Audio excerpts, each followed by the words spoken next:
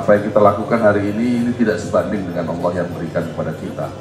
Ya, dengan segala nikmatnya kita hanya bisa setiap tahun mempersembahkan sesuai dengan akidah kita. Saya hanya ingin berharap kita datang di suatu acara itu tidak hanya formalitas. Ya, kurban, kurban, kurban. Potong-potong kambing, ya ikut potong kambing. Tapi kita tidak tahu maknanya. Ketika kita tahu makna itu, maka kita akan semakin ikhlas.